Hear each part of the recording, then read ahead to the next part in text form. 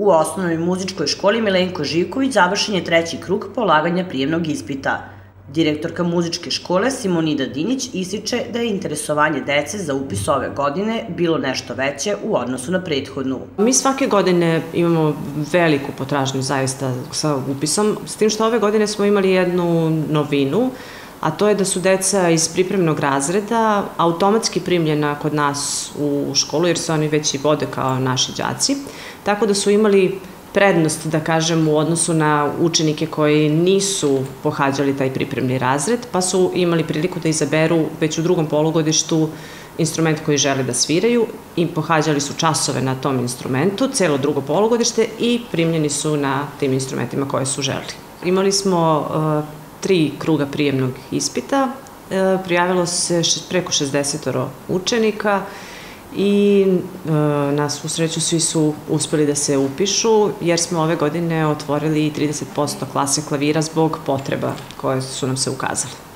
E, svi su prošli sa vrlo visoko, visoko rangirani, ovaj, tako da su uspeli da upišu uglavnom svi instrumente koje su želeli. Ono što je novina kada je u pitanju rad Paraćinske muzičke škole jeste saradnja sa Nurdorom, odnosno sa nacionalnim udruženjem roditelja dece obole od karcinoma. To je jedna novina, imaćemo koncert 27.